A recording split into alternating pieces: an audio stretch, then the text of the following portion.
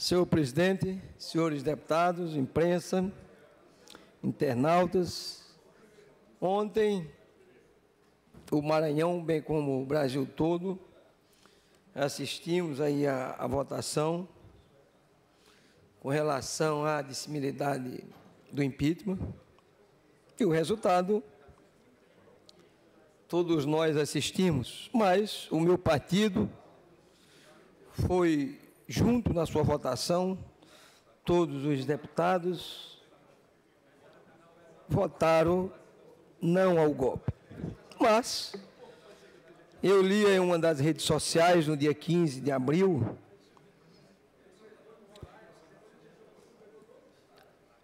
onde o deputado federal Alberto Fraga, do Distrito Federal, onde ele dizia que o governador do Maranhão, Flávio Dino, do PCdoB, ao invés de cuidar melhor do Estado, estava usando a máquina para comprar corruptos, para comprar deputados corruptos do Maranhão e picaretas.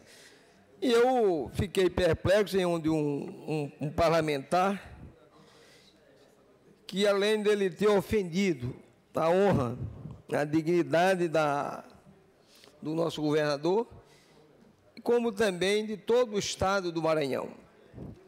E ele, antes de fazer qualquer comentário, com certeza de maneira desavisada, deveria, no entanto, se procurar saber a trajetória da vida do, do Flávio Dino, com o maranhense. Flávio Dino tem um trabalho não só no Maranhão, mas em todo, em todo o Brasil.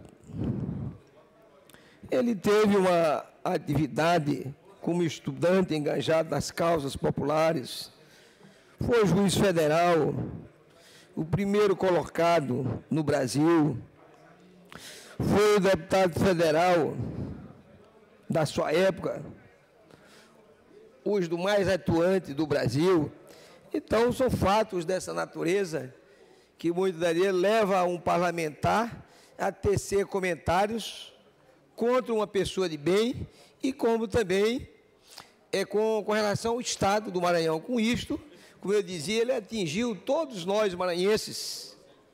Então, nós temos aqui nossos 18 deputados que ali representam lá, no, lá na, em Brasília, na Câmara Federal, entre os, os 513 deputados, nós temos 18 deputados que, que representam o nosso Estado.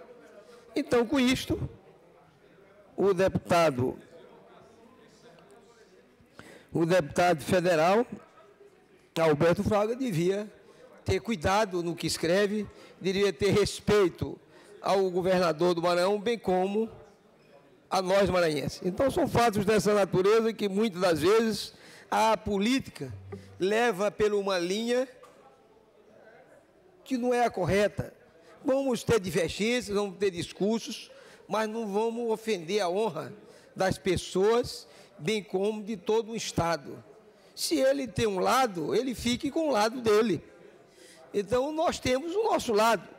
Nós não podemos estar pulando de barco porque está lagando ou porque vai perder, porque como oportunista, como oportunista, o que se viu agora recente, aqueles oportunistas de, de que saiu aquele vai, vai e vai na, na, maré alta.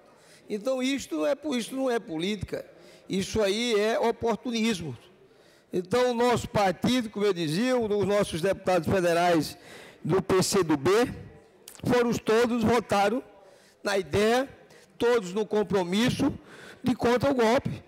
Então, isso aqui é o nosso pensamento, é o que a gente pensa, e se eles pensam de outra maneira, que ficam com suas ideias, com o seu pensamento, mas de forma, de, de, de, de forma alguma nós aceitamos provocações, principalmente de, para querer é, é, é, desmenosprezar o nosso Estado, que é um, um Estado pobre realmente, mas nós, tem, nós, nós, somos pessoas de bem, bem como nossos parlamentares, que nossos 18 deputados que representam o Estado do Maranhão, se tiver com problema é como tem em qualquer instituição. Não é só entre os 18 deputados, se tiver algum, algum problema, que é, é, tem que ser é, é, é, especificado A, B ou C, mas não da maneira que ele fez de modo geral. Só isso, senhor presidente.